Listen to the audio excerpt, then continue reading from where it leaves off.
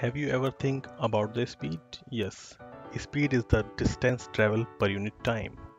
So the unit of speed is kilometer per hour. So have you ever think who is the fastest animal on earth? Yes, that is cheetah, which is right now showing on your screen. Yes, cheetah. So what is the physique of cheetah? The height is 67 to 94 centimeter at shoulder and the mass is 22 to 70 kilogram for the adult. Features responsible for high speeds are long leg, long spinal cord, lightweight, and for balancing and quick turns, long tail is responsible.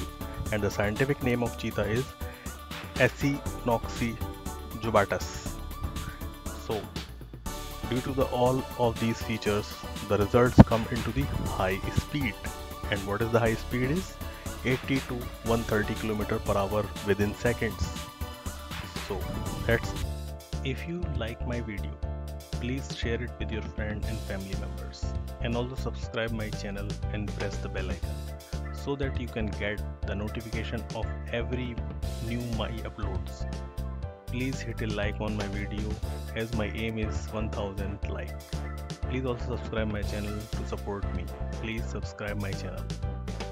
And also please press the bell icon to get the notification of new uploads and hit a like for my video to support me. And thanks for watching my video